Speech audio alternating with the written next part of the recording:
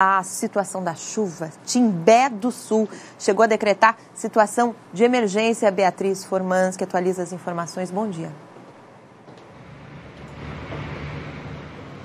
Marta, bom dia para você, bom dia para o Lucas, para todos que já nos acompanham aqui no SC no ar. Pois é, situação crítica aqui no sul do estado em alguns municípios e com certeza, sem sombra de dúvidas, Tibé do Sul foi um dos mais atingidos. A gente tem aí os registros feitos principalmente pela Defesa Civil e Corpo de Bombeiros de que pelo menos 14 pontes foram interditadas ou foram completamente ou parcialmente aí afetadas, tiveram as suas estruturas impactadas por conta das fortes chuvas que se repetiram ontem, né? Todo esse episódio aí de caos por conta das chuvas começou na quarta-feira à noite, né? Lá pela madrugada, a gente tem imagens aí que mostram realmente como o fluxo do rio subiu muito. A gente tem cinco rios aí na cidade de Timbé do Sul, pelo menos cinco metros subindo aí em cada um deles. Muitos deles chegaram a transbordar, né? Alagando muitas casas, mais de 50 famílias impactadas aí por conta disso, né? Tiveram suas casas alagadas, precisaram aí inclusive de resgate pelo helicóptero do SAIR Saraçu que realizou todo esse apoio a essas famílias e por conta disso, sim,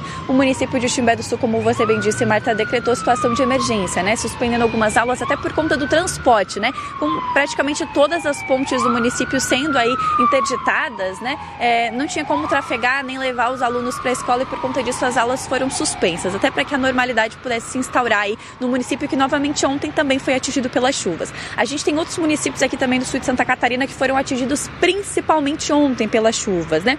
Aí registro para Gravatal que teve também duas pontes que foram levadas pela chuva. Pontes é importantes da cidade, né? Para o tráfego aí dos veículos que passam pelo Rio São Roque. Todos esses locais foram interditados e por conta disso o trânsito também não está fluindo como normalmente por conta dessas duas pontes que foram interditadas. Além dessas duas cidades, a gente também tem registros aí de Jacinto Machado cidade também aqui do sul do estado que teve três comunidades que estão ainda com acesso restrito por conta de pontes danificadas e mais de 60 famílias aí que precisam desse apoio tanto da Defesa Civil quanto do Corpo de Bombeiros porque tiveram suas casas alagadas, perderam bens, móveis, enfim, alguns deles aí desabrigados e precisam desse apoio da Defesa Civil, já que a, já que a a administração pública, a administração municipal espera o fluxo da água baixar, já que ontem choveu novamente aqui, isso dificulta um pouco todo esse processo, né, de reconstrução das pontes, de tentar ver o que vai ser feito para normalizar o fluxo temporal que aconteceu na tarde, noite de ontem aqui em Criciúma também foi muito forte. Os bombeiros aí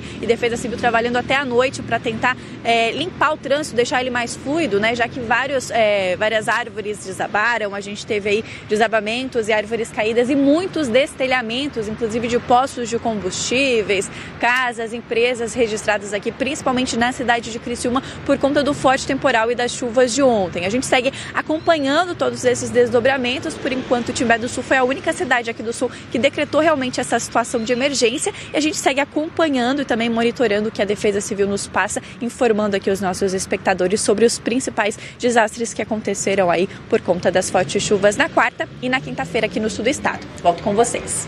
Obrigada, Beatriz. Não foi só a